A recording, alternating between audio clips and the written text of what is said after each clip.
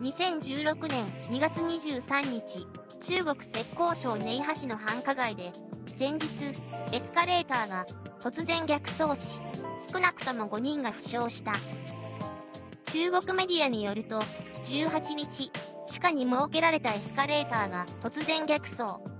乗っていた多くの人が逆走した拍子で折り重なって倒れ込んだ。逆走したのは、海外メーカーの中国子会社が生産した製品で、昨年は、同社のエレベーターで、女子大学生が命を落としている。今回問題となったエスカレーターは、2004年製で、翌年に使用を開始、15年10月に大掛かりなメンテナンスが実施され、同12月に検査機関の検査に合格したばかりだった。安全問題が絶えない現状に、中国のネットユーザーからは、できるだけ階段を使用した方がいい。今のエスカレーターに安全感はない。怖すぎる。などの声が寄せられていた。